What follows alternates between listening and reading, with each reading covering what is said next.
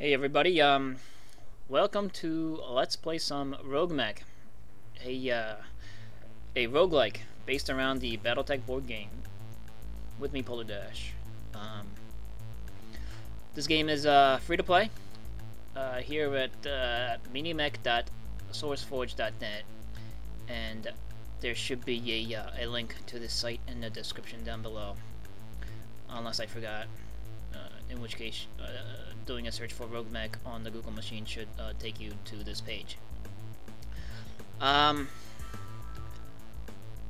but yeah, uh, I, I, think this game runs on most internet browsers. Uh, some might have problems, so uh, if you want to get this game running on your rig, I advise you use the more popular internet browsers like Chrome and Firefox and things.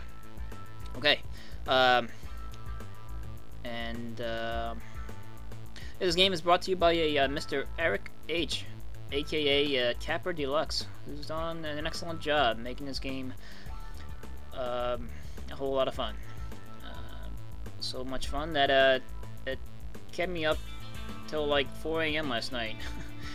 um, yeah, I, I, randomly stumbled upon this game while doing like a, a, a BattleTech related search on the internet. And, um, yeah, kept me up uh, up until the the wee early hours into the morning. Um, and then I like I thought of or I tried to uh, record a session last night slash last morning uh, at like 4 a.m. But then uh, realized that I was in no condition to do so. I, I wasn't coherent enough uh, to talk and play at the same time. Um, but it's 4 p.m. now, and I feel slightly better. So uh, I'm gonna try a take two. Uh, okay, I think without further ado, let's click on the banner here, and we're gonna press A key to begin. RogueMek. Alright, and I'm gonna, and I'll describe and uh, explain the various things that will be appearing on the screen as they come. Uh, so, we can start a new game, we can look at the controls, we do the controls, alright? And we can change the theme, the color palette, which we're gonna do. Um, there's a whole bunch of presets here. You can't um, make a custom color scheme, unfortunately. So uh, you're gonna have to select from one of these that are pre-made. Um, there are some color schemes that I don't recommend you use, like the Brick Boy, the Light Mono, and the Comstar, for uh, visually obvious reasons. They uh, burn holes in your retina. We're gonna go with the Draconis Combine, because they're cool. And I like them. It'll make our mechs red, and they'll make the opposing mechs purple. So in this game, um, the Draconis Combine is uh, forever stuck battling the forces of House Marik, which I have no problem with. Let's start a new game. We're gonna call ourselves PolarDash. Who knew? We're gonna keep our mech random because it's more funner that way. Um, and then we could just uh, go and uh, launch ourselves into a quick battle. It'll uh, it'll put us into a free for all against a bunch of mechs in a uh, I think a preset arena. Maybe I don't think the the quick match or the quick start arena is randomized. Or we can make a custom battle, which allows us to uh, like pick a random map, uh, set teams and stuff. We're just gonna launch into the arena just to get this game started. So I can uh, show you guys the in ins and outs of this wonderful game. Okay. So here we are. We are on the uh, the north here. We are riding a Centurion, a CN9YLW. Um, and we are represented uh, as a red guy. And the opposing mechs are the purple letters here. We got a WJ. You can scroll through the enemies by hitting R. R is nearest target. T and Y is next in previous enemy. So our closest target is a Jenner. Um, our st stats are down here. Uh, the the enemies that we have locked onto, their stats are up here. Um, uh, this stuff is obvious. This is uh, armor. Um, in Battletech, you have to uh, get through the external armor and then into the internal structures, into the in internal structure to uh, deal damage to the inside parts and eventually make the mech explode. So uh, the the left bar is external armor. The right bar here is uh, internal structure. Uh, and these are torsos: left torso, center torso, right torso. Um, the the bar on the right here is rear armor, um, and these are limbs here. Uh, and the weapons that the enemy mech is equipped with here, and uh, this is a what do you call it? Uh, what's it? The the two hit uh, modifiers, yeah. And uh, our stats here look pretty similar, except that we have like percentages on, on our weapons. We you can fire your weapons with the the the, the number keys. Uh, this is the percent chance to hit the enemy we have locked onto, and uh, stuff and such. I will explain more as they become uh, they become uh, as they pop up. Okay, I can't use big words. Me are stupid. Um, and and you move with the, uh, the the arrow keys. You can move. You can turn left and right and move forward and backward with the respective keys. Um,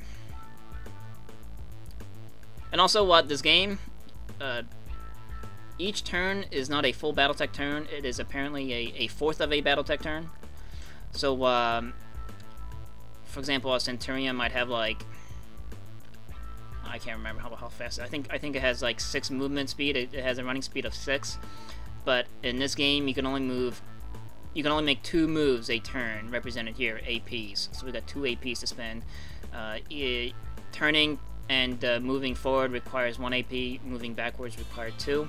And also moving into uh, different terrain requires two points of AP. Uh, the terrain here, represented by colors uh, and uh, symbols.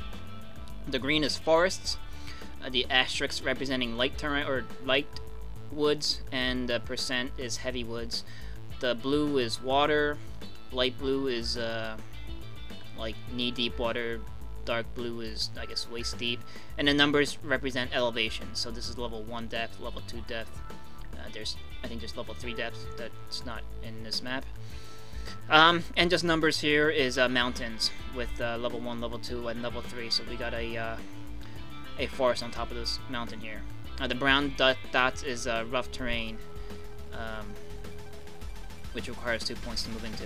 Forests uh, give you a defense bonus. Uh, water gives you a, uh, a cooldown bonus. Um, your, your your mech heats up as you take hits and shoot weapons, and this is like the the heatometer, I guess. Um, once you reach a a, uh, a certain threshold, you'll start taking penalties to all sorts of stuff.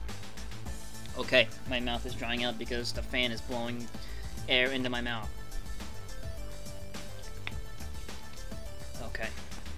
Swig of water, problem solved. So let's get ourselves moving.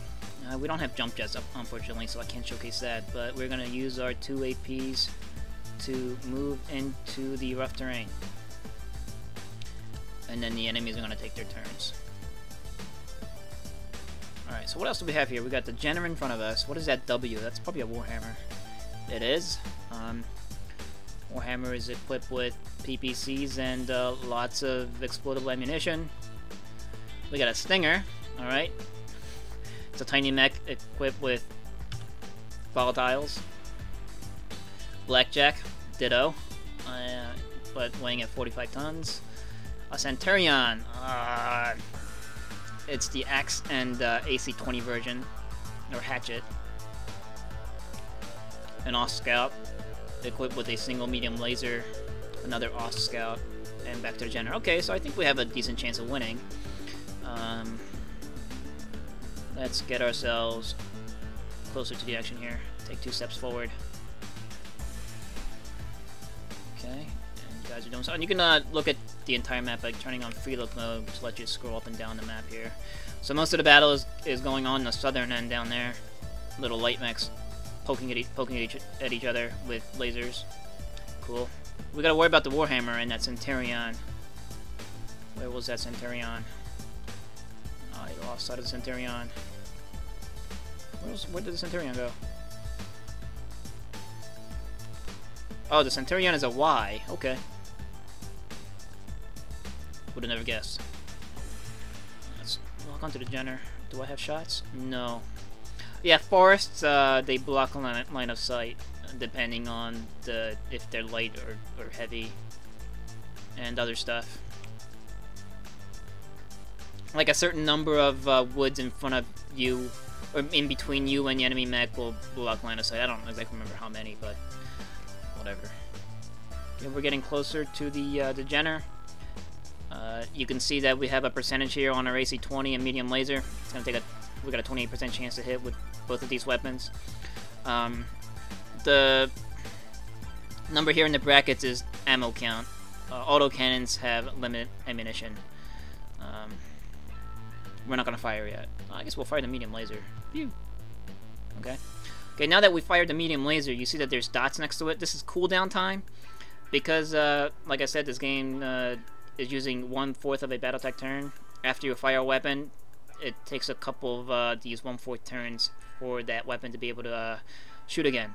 And the, the number of rounds left for it to cool down is represented by these dots. So we got one more turn left until we can fire the medium laser. Uh, the Jenner decided to charge us here. Um, bad idea. We have a we have a hatchet in our left arm, which we're gonna swing at the Jenner. Hatchet, dealing 10 damage to its left torso, ripping out its jump jets. Cool. It's running. Okay. Then we're gonna take a, uh... What else can we do? Oh, you know what? You can also, uh, literally charge the enemy by going into their space as long as you have the movements available. So we have 2 AP. We're just gonna charge the Jenner. Here we go. Boom. Charge. Then we took some charge damage and we fell. Really? How heavy is a Centurion or, or, or a Hatchet Man, whatever the hell we're riding? You can hit the I button to get a more detailed description of what your mech is. We are a... It doesn't tell us how many tons we are. That's kind of funny. I guess the game expects me to be uh, extremely knowledgeable in the lore of Battletech, uh, considering that I am playing a rogue-like version of it. Well, whatever. I thought I'd be, I thought I'd be able to stomp down a Jenner with all my weight, you know, considering that the Jenner's only 35 tons, but apparently not. We're gonna get up. And then, uh, we're gonna turn and face a Jenner. And the Jenner is peeping us with lasers. Laughing at us. Um... Okay, we're gonna go uh, surprise AC-20 and medium laser.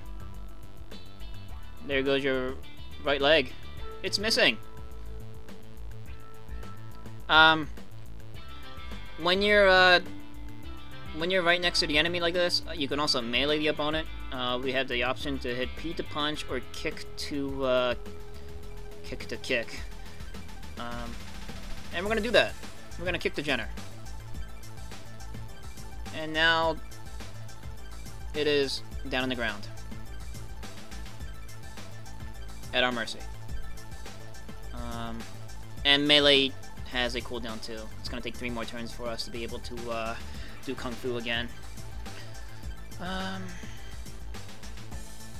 we're gonna shoot this medium laser, which has a 100% chance to hit. Phew. We critical its medium laser and jump jet. Neat. Okay, so we are tearing chunks out of the Jenner. I'm not gonna waste my AC-20. I'm just gonna take the opportunity here to turn and face it. And uh, do I dare charge it again? No. You know, it might be wise to just... Yeah. Alright, we're gonna take our right hand, or right arm, put it into the Jenner's mouth, and then fire AC-20. And destroy it. Yes. Okay, Jenner's gone. Now the Warhammer is coming in to engage us from the south there. I'm gonna target it. It is unscathed. Who earns? Um, start moving. Um, as you move, you do get a defense bonus. See, we're at running speed now, so we should have like a defense of 2. You get a plus 2 to defense when you run.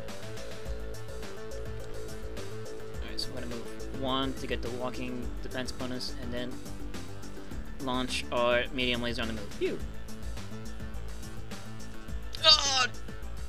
Oh, we got critted all sorts of stuff. F you. I'm gonna turn to face it. Oh! It doesn't matter. Alright, we're gonna AC-20 the Warhammer. And we blew a hole in its fusion engine. Awesome. And we're gonna turn. Now we're gonna take our hatchet into the Warhammer. Doing, doing 10 damage. Ow! Oh, and there, he blew our hatchet away. F you. I think we might want to... No, we don't want to charge this thing, do we? No. Let's see. Well, our arms are still there. Just, they're just missing their weapons. Okay. Just tiptoe around the Warhammer here. I don't know where it's going, but that's fine. Its uh, rear armor is exposed to us. We're gonna take advantage of that and launch our AC-20. Phew. There he goes. We uh, ripped its hip apart. Warhammer ain't dancing no more. Turn. Oh, that medium laser. We have a rear-mounted medium laser. Okay, that's why I couldn't fire it. It's pain in the ass. So the only real weapon I have is the AC-20 now, and punches and kicks. Great. Okay, yep, you stay there so I can kick you. We're gonna kick it and uh, hope to crit his right leg there, which has no external armor. Right leg. Oh, did did stuff and killed me. Alright, well, what did it do? I think it charged me. Warhammer.